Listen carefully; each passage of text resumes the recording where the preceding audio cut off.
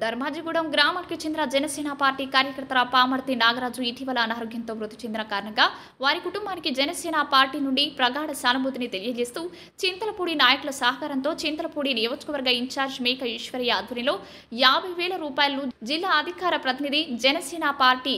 ఏలూరు నియోజకవర్గ ఇన్ఛార్జ్ రెడ్డి అప్పలనాయుడు చేతుల మీదుగా చనిపోయిన నాగరాజు కుటుంబ సభ్యులకు అందజేశారు. ఈ కార్యక్రమంలో జిల్లా ప్రధాన కార్యదర్శి కరాటం సాయి జిల్లా అధికార ప్రతినిధి ఏలూరు నియోజకవర్గ ఇన్ఛార్జ్ శ్రీరెడ్డి అప్పలనాయుడు జిల్లా కార్యదర్శి ఉమామహేశ్వరి జిల్లా సంయుక్త కార్యదర్శి తూము విజయ్ కుమార్ లింగపాలెం మండల అధ్యక్షులు పంది మహేష్ బాబు చింతలపూడి మండల అధ్యక్షులు మధుబాబు మాదాసి కృష్ణ పఠాన్ యాకువల్లి చల్ల నాగబాబు పూజారి సురేష్ పంది సతీష్ మునికొండ గోపి పంతగాని రాజు పఠాన్ శుభాని బంటు శ్యాముల్ నిమ్మగడ్డ రామ్ కుమార్ మరియు లింగపాలెం మండలం జనసేన నాయకులు మరియు కార్యకర్తలు పాల్గొన్నారు.